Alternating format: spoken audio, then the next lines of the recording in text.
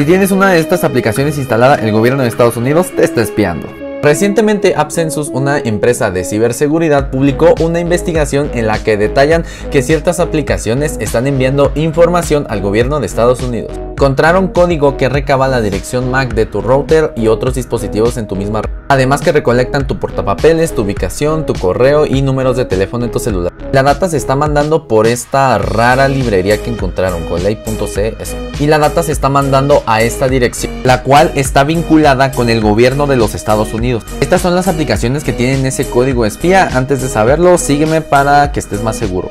Hay unas que tienen hasta 10 millones de instalaciones y aquí puedes ver una comparativa de lo que te espían. ¿Ya viste? Aquí está.